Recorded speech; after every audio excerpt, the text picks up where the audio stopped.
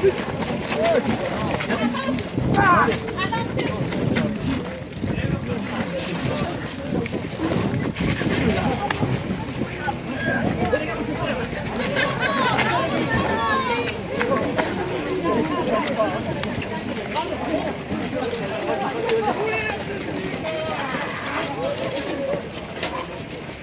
les continue